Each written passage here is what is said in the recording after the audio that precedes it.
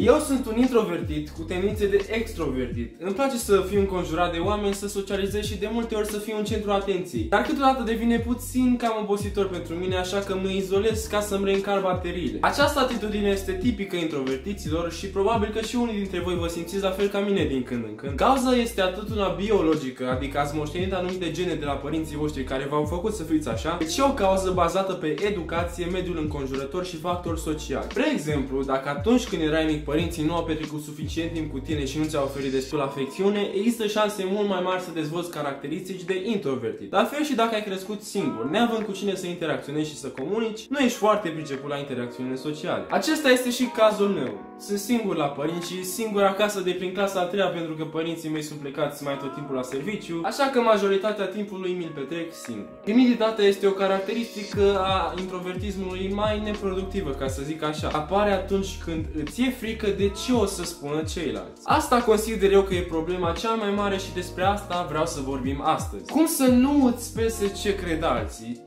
Cel puțin câteodată, pentru că nu tot timpul trebuie să fii nepăsător. E necesar să empatizezi cu ceilalți și să le asculti și opinia lor și să decizi dacă ești de acord cu ea sau nu. Dar partea cea mai nasoală vine atunci când îi lași pe ceilalți să aleagă în locul tău sau nu faci ce voiai să faci de mult doar pentru că ți-e frică că s-ar putea să te judece. Asta e o frică irațională. Am vorbit mai multe despre ea în videoclipul ăsta, așa că arunc o privire ca să înțelegi mai bine despre ce vorbesc. În cele ce urmează am să vă arăt trei metode prin care eu am reușit să-mi înving timiditatea și să nu-mi pese atât de mult de ce cred alții despre mine. Haideți să-i dăm drum. Primul lucru pe care l-am făcut a fost să-mi conștientizez valoarea. Eu știu foarte bine la ce sunt bun și la ce nu sunt bun. Îmi cunosc foarte bine limitele de sus și de jos. Știu că sunt capabil de lucruri extraordinare și am încredere în mine că pot să le fac și pe viitor. Iar această încredere vine din realizările pe care le-am obținut până acum. Asta e dovada mea că pot să fac lucruri mărețe. Dar tot ce am realizat până acum nu s-a întâmplat pentru că am stat în pace și m-am uitat la tavan. Aceste realizări au venit din dorința mea de a face ceva și de a ieși din zona de confort. Pentru că e foarte important să ieși din zona de confort dacă vrei să ai succes. Și ține minte că nu poți să obții ceva dacă nu sacrifici altceva. Asta este legea universului. Trebuie să dai ceva ca să obții altceva. Valoarea o ai mereu cu tine, încrederea însă nu.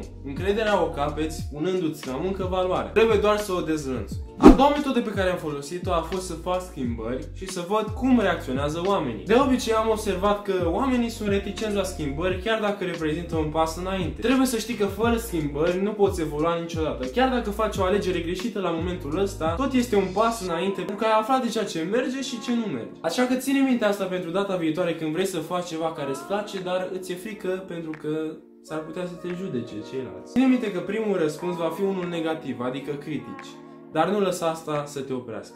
Și în sfârșit, metoda cu numărul 3 este să știi că cea mai importantă părere este a ta. Ceea ce spun alții sunt doar păreri consultative. E viața ta până la urmă. Poți face orice îți place atât timp că nu deranjezi pe nimeni, pentru că Există și posibilitatea să-ți placă să omori oameni, deci asta nu e bine. Numai tu deții controlul asupra gândurilor și acțiunilor tale. Ceea ce cred alții despre tine este pe plan secund. Am colegi la școală o grămadă care și-au ales meseria doar pentru că așa le-au spus părinții chiar dacă poate ei nu voiau să urmeze drumul acela. Colegi, mai ales fete care învață doar ca să-și impresioneze părinții și să-i mulțumească. Fetele tind să fie puțin mai timide și să le pese mai mult de părerea celor din jur pentru că sunt mai emotive și mai afective, în timp ce băieții sunt puțin mai rebeli. Dar oamenii de succes, indiferent că ești fată sau băiat, nu sunt cei care urmează turma sau cei care caută aprobare. Oamenii de succes sunt cei care spar tiparul și fac lucrurile în felul lor. Da, oameni, acesta a fost videoclipul de astăzi. Dacă v-a plăcut și v-a fost de ajutor, vă rog frumos să-l distribuiți mai departe, să vă abonați, bineînțeles, dacă n-ați făcut-o și să dați un follow la Iacobescu Edi pe Instagram, unde puteți să-mi adresați întrebări despre viața voastră personală, iar eu voi încerca să vă ajut. Acestea fiind spuse, eu am fost Advice sau Edi și până data viitoare, nu uita, pune o reușită, nu rateu. Pa, pa!